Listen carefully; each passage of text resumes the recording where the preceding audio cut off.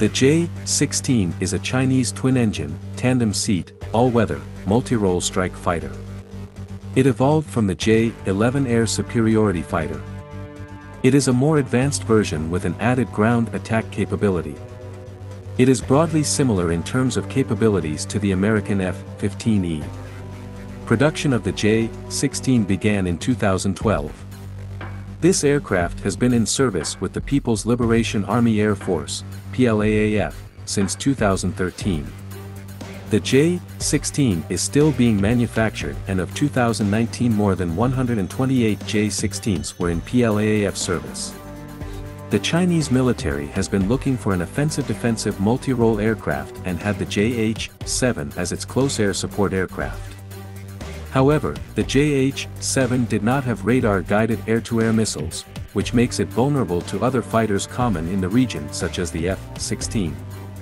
China sought an aircraft with multi-role capabilities and in 2012 acquired from Russia a total of 76 Su-30 MKK for the People's Liberation Army Air Force, PLAAF, and 24 Su-30 Mk2 for the Navy. The J-16 is a product of Shenyang Aircraft Corporation. Its design was based on the J-11BS, a twin-seat combat-capable trainer version of the J-11, and the Russian-supplied Su-30 MKK. The J-16 has improved avionics and uses Chinese WS-10B engines. Production of the J-16 began in 2012 and in 2013 the first J-16s were introduced in PLAAF service. The aircraft has an indigenously designed and developed modern active electronically scanned array, AESA, radar, infrared search and track, IRST, and new electronic countermeasure systems. The aerodynamic design of the J-16 stresses maneuverability rather than stealth. The jet's camouflaged coloring makes the aircraft blend into the sky and sea. This makes it more difficult to detect by naked eye.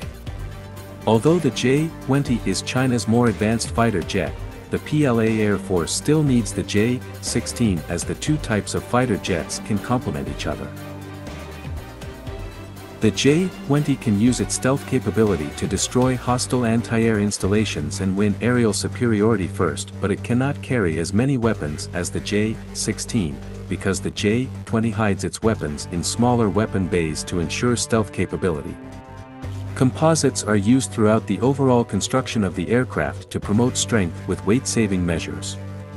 The J-16 has a long range of 3,000 kilometers and can be refueled in the air. This aircraft is armed with a built-in 30mm GSH 30-1 cannon with 150 rounds of ammunition. It has 12 underwing hardpoints and can carry up to 8,000 kilograms of ordnance including air-to-air -air missiles, 8 XPL, 12 medium-range and 4 XPL, 9 short-range, anti-ship and anti-radiation missiles, cruise missiles, free-fall, satellite-guided and laser-guided bombs and rockets.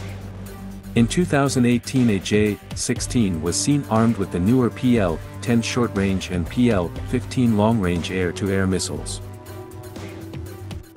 The PL-15 is an active radar-guided long air-to-air missile with a range of over 150 kilometers and a speed of Mach 4, for 939 kilometers per hour.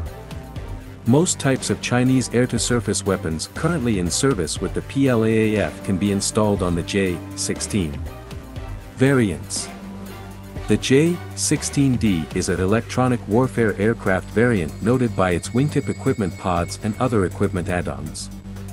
This version has a shorter radome and also lacks the internal 30mm gun and IRST. The J-16D completed its maiden flight on December 18, 2015.